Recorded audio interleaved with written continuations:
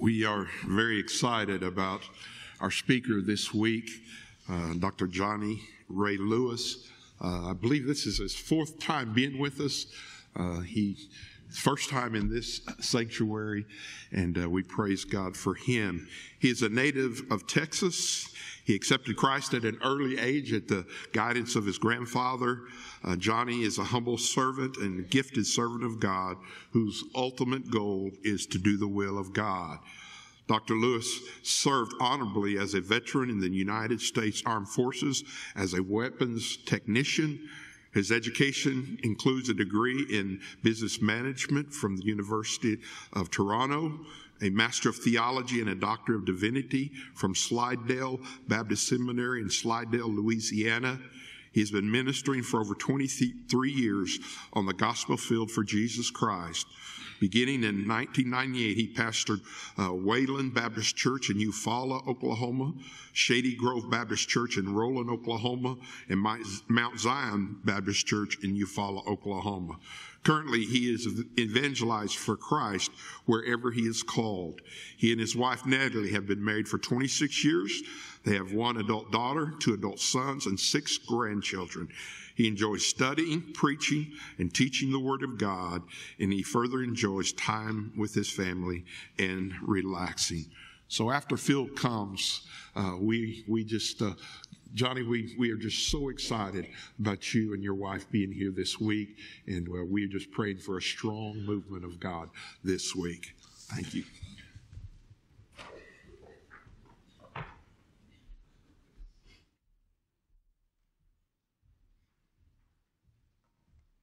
Church, say amen. Mm. First of all, giving honor to the Father, to his Son, our Lord and Savior, Jesus Christ, to all you, my sisters and brothers in Christ, to the pastor of this church, Pastor Franklin, to his wife, to all the officers. It is indeed good to be here. Amen. I was listening to that young man sing that song. He does it so easy. He had like a there's no strain to it. Beautiful, beautiful voice. Amen. I was telling my wife, and I'm going to move on. I won't hold y'all long. I know we got a week long journey. I was telling my wife, Pastor told me to uh, get a receipt for any meals I accommodated. And uh, he said, get a receipt for whatever you do. I told my wife, I said, shoot, babe, I'm going to give you a new Mercedes and get a Mercedes. Just joking now. yeah, but uh, we thank God for being here. I also had told, uh, talked to a preacher friend of mine a few years back. I said, man, you know, I said, I ain't been around here. I ain't heard from nobody over there in a long time. I said, maybe I said something I shouldn't have said. They ain't calling me back over there. But thanks be to God, when I left the last time, Pastor told me that I was going to do some remodeling, rebuilding, and thank God is good. This is very beautiful. Amen. Amen. And I guess I better move on. I um, let us pray. Father God, again, we come to thee humble as I know how at this moment. Father, I ask to let the words of my mouth and the meditation of my heart be acceptable and pleasing in thy sight.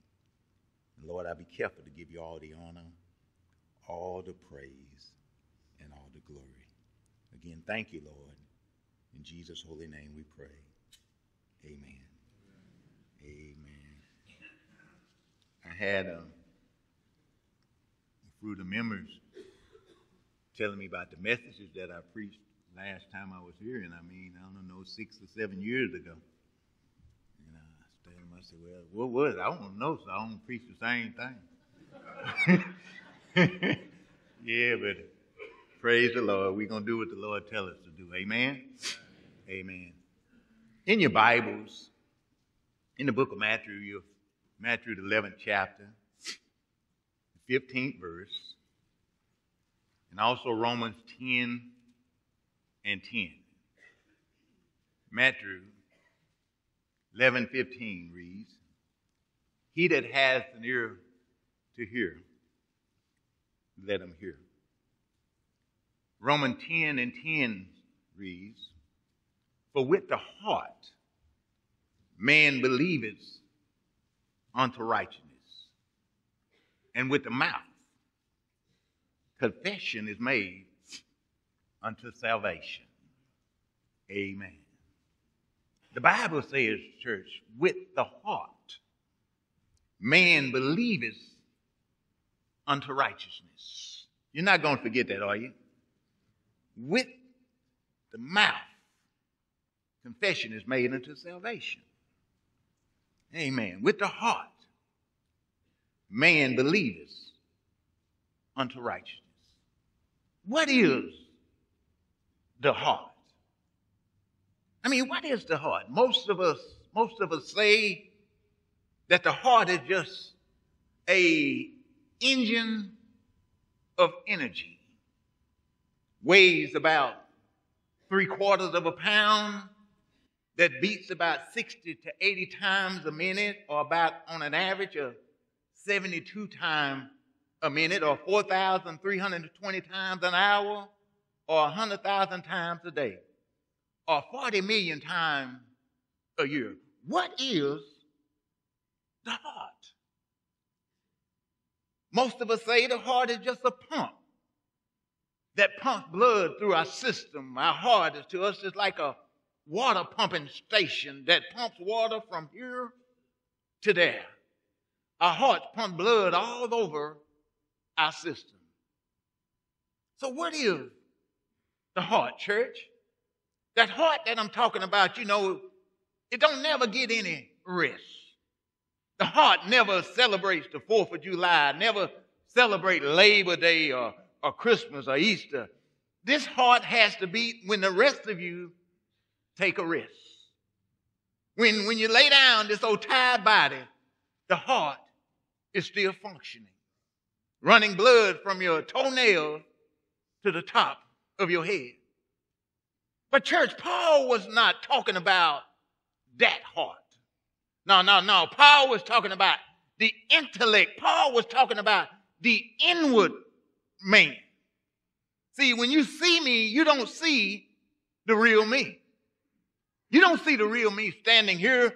You just see the shell that I live in. Y'all gonna pray with me? It's another me on the other side where I am. See, the heart can think. The heart can believe. The heart can reason. The Bible says from the heart flows the issues of life. Didn't you hear David say, creating me a clean heart, O God, and renewing me the right spirit? It is something about the heart that's got to be right. Paul says your heart is not right. Create in me a clean heart, huh?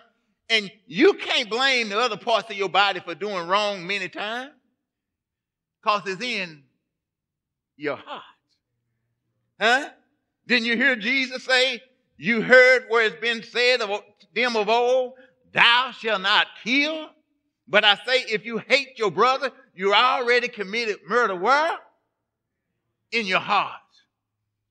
I heard him say, you got to love the Lord with all your heart. And I wonder today, church, I wonder today if somehow they could take a picture of our hearts.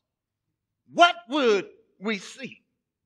I wonder if our spiritual heart live in a glass house. I wonder how fast would we rush to get a curtain to cover up our old hearts. Do I have a witness?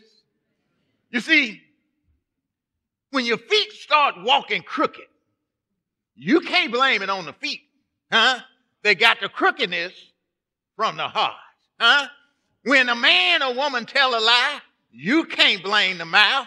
The mouth was doing what it was told to do. The lying started. Y'all gonna help me, ain't you? In the heart. When somebody say I wasn't aiming to say that, it slipped out. Can't nothing come out if it wasn't already in there. It started from the heart. Yeah, yeah, yeah. You got to get your heart right. You got to get your heart right with God. With the heart, man believeth unto righteousness. I think I need to say that one more time. With the heart, man believeth unto righteousness.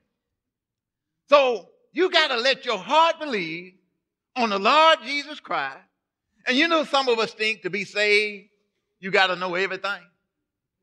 Yeah, some of us think you to be saved, you got to know everything. Well, I better tell you, you don't have to know everything about your digestive system in order for you to eat beans, peas, ham hock, neck bone, chili, cabbage, and pig feet. Huh? Or you don't have to know how fast sound travels to answer when your mother call your name. Huh? You don't have to know all the ingredients in a chair in order to get up and see about your child when he or she is crying. Or y'all gonna pray with me this morning? You don't have to know what time the sun rose or if it's 93 million miles away from here to recognize your loved one's face when you see them, huh? Like so, you don't have to know that there's 66 books in the Bible. Have I got a witness? You don't have to know that there's 1,189 chapters, 31,214 verses, 773,746 words, 3,566, 480 letters in the Bible for you to be saved. All you need to know is with the heart man believeth unto righteousness. And when you talk about the heart to believe, don't go bamming on your chest. Because this heart is not found in your chest. But with the heart of your mind, you must believe on the Lord Jesus Christ. I gotta quit. I gotta quit. Let me move on. Well, a blind man, church, may not be able to see, but he can believe, huh? Deaf and dumb man may not be able to talk, but he can believe, huh? Crippled man may not be able to run, but he can do what? Believe. A broke man may never be able to buy a brand new house, but he can believe. The Bible says, ye that believe shall be saved. I got one more thing I got to say something about, and that's that mouth. Help somebody. We got to take the ears and use the ears as a highway to get to the heart. You got to take the heart and believe it. But then after you hear and after you believe, I never better tell you, don't confess till after you believe. You see, you can't brag about your possession until you confess. And you got to possess first before you confess. You see, too many of us have been confessing and haven't been possessing. What you mean, preacher? Huh? I don't believe y'all hear me. I'm going to say it one more time. Too many of us been confessing and we haven't been possessing. We've been confessing that we're saved, but we haven't been possessing salvation. You're not saved because mama was saved. You ain't saved because your daddy was a preacher. You ain't saved because you spent all your life in the church. I tell you what you can do. You can take a Ford Pinto to the Cadillac dealer. I know a lot of y'all don't know what that is. You can take a Ford Pinto to the Cadillac dealer and lock it in the garage and leave it there all of 2023. And when you go down in 24, 24, you ain't gonna find no new Cadillac in this place. You're gonna still find a little old Pinto parked there. Huh? Well, church, this mouth creates some problems. Yeah, yeah, this mouth creates some problems. The mouth gives the. Did you know there are many problems that have occurred because of your mouth? Many lies have been told because of some mouth, huh? Many homes have been destroyed because of some mouth. There are many homes that are fatherless right now because of a mouth. There are many homes motherless right now because of somebody's mouth. You'll be surprised to know how many black eyes have been caused because of a quick mouth. How many teeth have been knocked out because of somebody's mouth. Matter of fact, how many churches have been destroyed, huh?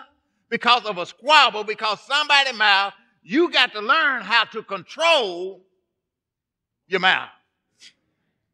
You see, sometimes it's too late for you to say, uh oh, huh? Because some things you say you can't take back.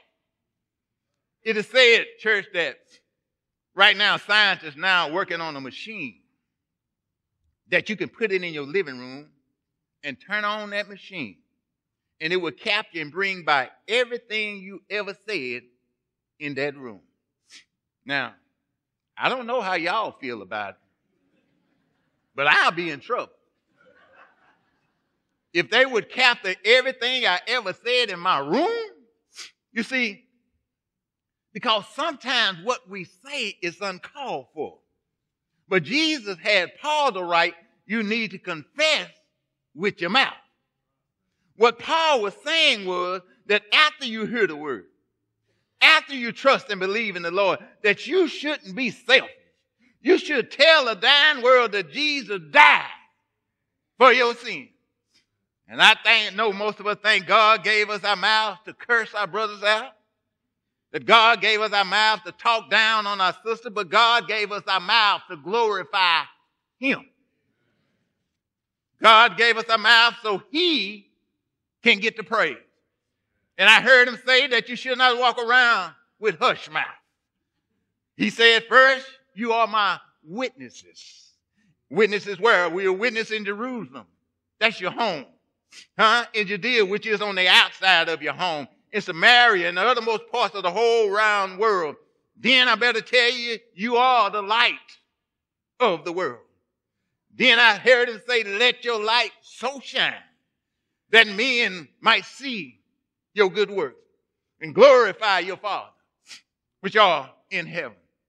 Well, what that mean? I mean, if the Lord save your church, you ought to be willing to tell somebody, I know I've been saved. If you know the Lord brought you from darkness to the marvelous light, you ought to be willing to tell somebody else. And then I'm going to close with verse 13. Verse 13 says, Whosoever will shall call upon the name of the Lord. That's in your Bible, isn't it? Shall be saved. And I'm glad, church, the Bible didn't say if Johnny Lewis called upon the Lord. Uh, because then Pastor Franklin felt like he'd been left out. I'm glad, church, that the Lord did not say if my disciples call upon the name of the Lord because non disciples would feel like they've been left out. I'm glad the Lord didn't say that if the black man called upon my name, then that means that the white man, the green, the yellow, the brown man would be left out. I'm glad, church, the Lord did not say if the rich man called upon my name, they shall be saved. If that's what the case, me personally, would be left out of this salvation. And I'm glad that he didn't say the well dressed, huh? Because the raggedy man would have been left out. I'm glad, church, that he didn't say that ye that live in Old Muggy, or ye that live in Texas, or ye that live in California, or Fort Smith. Uh, but I heard him say, Who, whosoever will, shall call upon the name of the Lord shall be saved. Well, I want you to stop grumbling so much, but call upon the name of the Lord. Stop complaining so much, but call upon the name of the Lord. And I got one more thing I got to tell you before I go to my seat. Yes, Lord. He said, call upon the name of the Lord. Well, what is the Lord's name? Some of y'all know what the name is. His name is Jesus. Y'all heard that name before, haven't you? Jesus, Jesus, Jesus, huh? Jesus was the name when he was a baby. Jesus was the name when he was in the cradle, huh? Jesus was the name when he was in the temple at 12 years old. Jesus church was the name when he was full grown. Jesus was the name when he was hanging out there on a cross. Jesus was his name when he got up early. Oh, Lord, Sunday morning, huh? I wish I had a witness. You know what, church? Uh, you, church, you can be baptized in the name of Jesus. You can cast out devils in the name of Jesus. Huh? You can pray in the name of Jesus. You can be saved, church, in the name of Jesus. I heard him say, at the name of Jesus, church, every knee shall bow and every tongue must confess at the name of Jesus. And you do remember, don't you? You remember the third chapter Acts, huh? There said a lame man from his mother's womb, waiting on a little silver and gold. But I heard Simon Peter say, Oh, lame man, I ain't got no money. I know that's bad English, Pastor. I ain't got no money. We dropped our net about three years ago and haven't received a payday yet. Oh, yes, help me, Lord. But I tell you what I got right here. He said, I got a name here, huh? I wish I had a witness. I got a name here. He said, in the name of Jesus of Christ of Nazareth, oh, rise up and you walk, I tell you. Oh, I got to leave y'all now. But if you got a problem and you don't know how to solve it, all you got to do is call on the name of Jesus. Call on Jesus, oh, the lily of the valley, huh? Call on Jesus, the bright and morning star. Call on Jesus, he's a rock in a weary land. Call on Jesus, somebody say he's a bridge over troubled water. Ain't he all right? I said he's all right. And I know you already know what he did. He stayed right there all day Friday. He stayed right there all day Saturday. He stayed there, church, all Saturday night. But early, oh Lord, early Sunday morning, he got up with all power in his hand. Ain't he all right? I said, ain't he all right, church? All you got to do is just believe. God bless you.